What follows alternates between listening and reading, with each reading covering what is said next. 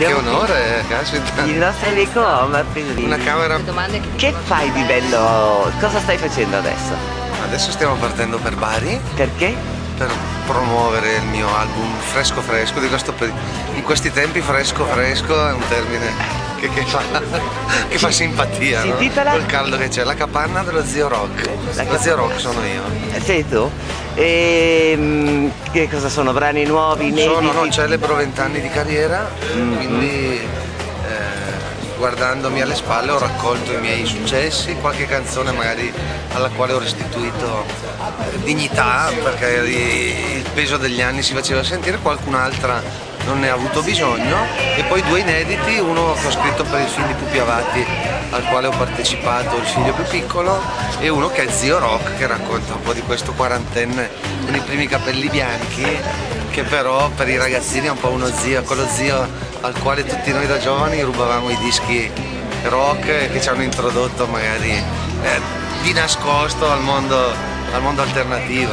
Senti, io ti faccio appoggiare la chitarra Sì, che è la la, mia tua, bimba, la mia è la tua bimba. Quindi è sposa o bimba? Sposa, sposa. Ti faccio togliere la O giacca bimba perché sposa. voglio fare un discorso sui tuoi tatuaggi. Ah, sì. Allora sposa e bimba, perché tu non hai né bimbi? Io sì, sì, ho un bimbo, ho un figlio Pablo, che ormai è grande, l'ho avuto a 22 anni, adesso è grande. Che è anche simpatico, io lo conosco, ma Tu lo conosci Pablito? quanti anni ha? Eh, ha 16 anni, 17, quasi 17. E quindi un figlio ce l'ho, mi sono dato da fare giovane. Non hai la moglie? La moglie non ce l'ho, tutte mi vogliono ma nessuna mi prende. Sei single? sì, sono single. Rimpiangi la storia con Eleonora? No, Eleonora? no, beh, lei ormai eh, se penso a una mia ex, adesso penso a- a- ad altre, quindi non rimpiango nulla.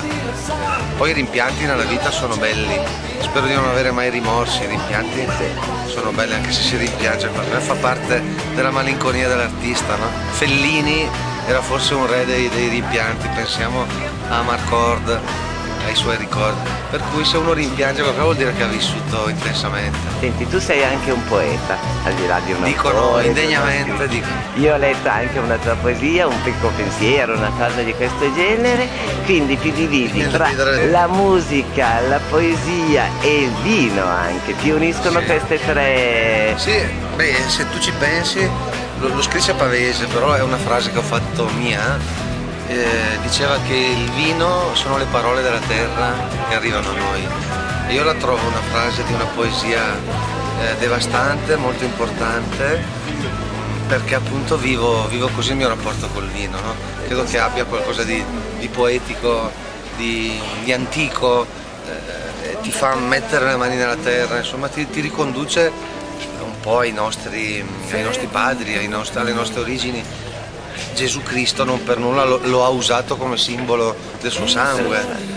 Quindi credo che il vino abbia dei valori si- simbolici, metaforici molto importanti. E poi è anche buono. Quindi- E il tramonto? eh, quando mi dicono che sono un intenditore io dico no, io sono appassionato perché un buon vino del contadino è più buono di qualsiasi vino a, a 5 stelle secondo me, quando è fatto nella maniera proprio contadino. E il tramonto? Come lo... Il tramonto beh, è bellissimo, il tramonto è, è il fascino di qualcosa che se ne sta andando, augurandoci che ci sia un'alba, un'alba poi il giorno dopo. Però il tramonto è affascinante, no? Sia che sia un canto, un canto del cigno, sia che sia semplicemente il riposo nell'attesa del nuovo sole, bisogna abituarsi ai tramonti. Io ne ho avuti tanti nella mia carriera e tante rinascite. Eh, se, se si pensa ai miei vent'anni sono una sinusoide impazzita, due dischi d'oro, tanti successi, momenti in cui sembrava che tutti si fossero dimenticati di me.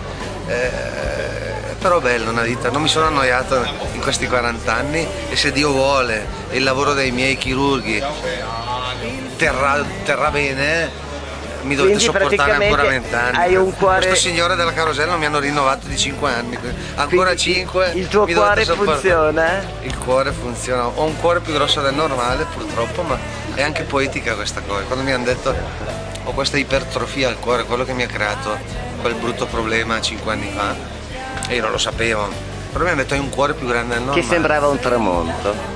E avere un cuore più grande, allora lo vedo anche un po' come qualcosa di poetico. C'è stata la- l'alba poi. Allora, volevo sdrammatizzare tutti Siamo noi, questi, Pedrini.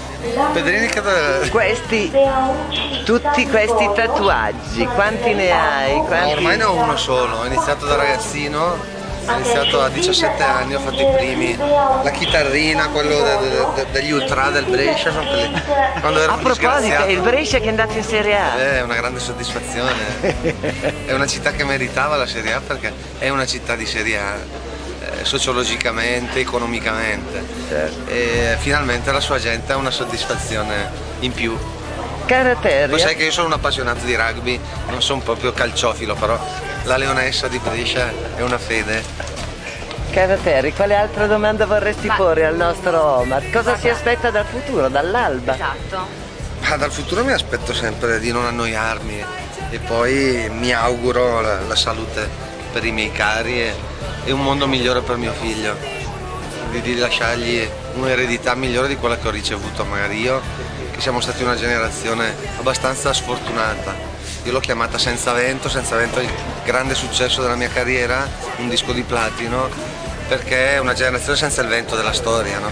I nostri genitori hanno sfruttato il pianeta, noi ne paghiamo le conseguenze. Quindi spero a mio figlio di lasciarlo un po' migliore. De- de- del resto mh, siamo tutti in prestito, come Siamo diciamo, tutti in prestito. Il mondo, questo è quello che viviamo, è l'unico che abbiamo disponi- disponibile, dobbiamo usarlo. Trattarlo il meglio possibile. sfruttarlo. Usiamolo ma non sfruttiamo, brava Gianna. Questo può essere lo slogan del 2000, degli anni 2010. Usiamolo Usiamo il bene. mondo, usiamolo bene ma non sfruttiamolo. Buon viaggio e buon lavoro. Anche a te, grazie, sono onorato di questa tua intervista Gianna.